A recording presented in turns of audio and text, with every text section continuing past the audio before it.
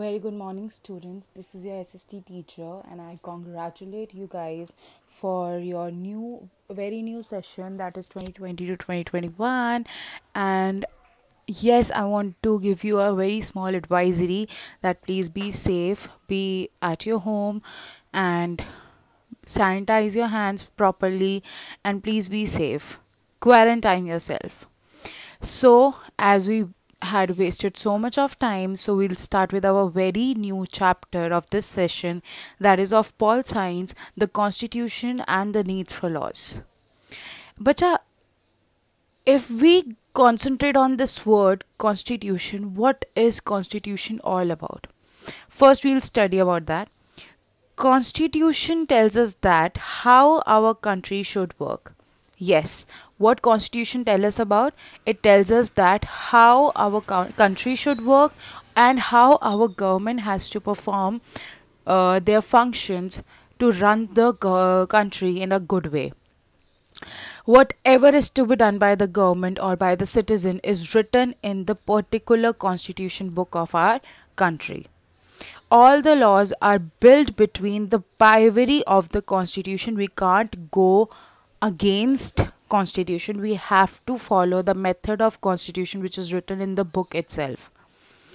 Next thing is what are laws? If we are talking about laws here that yes in constitution rules and regulations are there which we have to follow then what are laws? Laws help us to bring about order in human lives. Yes you guys are very much aware if there will be no rules and regulations there will be a chaos in our country and though it will create violence also. So yes as we all know we live in a very diversified con- uh, very diversified country where there are so many ethnic people with with uh, which have their own so many religions. So yes we need laws. These laws are specially created to suit the needs of the people of that country. So yes.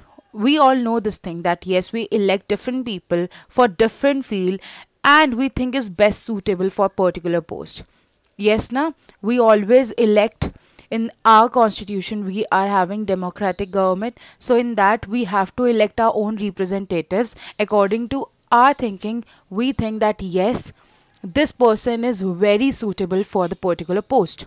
So, yes, government is elected by citizens with which, and this is also written in our constitution under universal adult franchise you guys are very much aware and though you have studied in your earlier session or earlier classes that uh, the children who are above 18 years they can they can vote under rule universal adult franchise so yes, our constitution tells us the actual relationship between citizens and government and how will they work together to run the whole government and to run the country in a very youthful way.